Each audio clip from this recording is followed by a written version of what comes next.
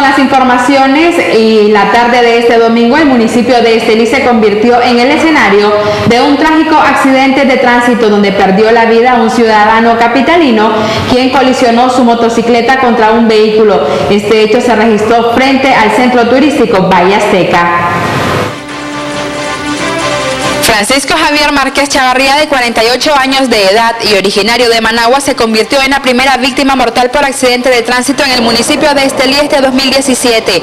Márquez viajaba a bordo de su motocicleta, al parecer con destino de norte a sur, y colisionó de manera frontal contra un vehículo que circulaba en dirección contraria. El hecho se registró en el kilómetro 154 carretera Panamericana Norte, a eso de la una de la tarde de este domingo. O sea, que yo estaba allá en la, porque yo cuido ahí nomás. Y cuando él pasó, yo lo que vi que él, él pasó, pero no, la moto de acá, no la vi.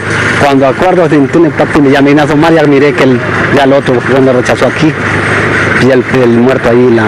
Ahí se le brindó atención hospitalaria, ¿verdad? Eh, a una ciudadana de nombre Maylin Palacio de 34 años que resultó con un trauma. ¿eh? en el miembro inferior izquierdo eh, y, dos menores de edad con crisis nerviosa. El vehículo era conducido por Eddie Francisco García de 45 años, quien se acompañaba de su esposa y dos hijas. Todos los ocupantes resultaron con lesiones leves y fueron trasladados hacia el Hospital San Juan de Dios por miembros de la Dirección General de Bomberos.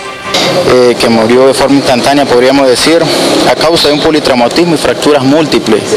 Este, eh, el ciudadano Francisco Javier Márquez, de 48 años, eh, que conducía una motocicleta marca Discovery, color roja y negra, placa 86782.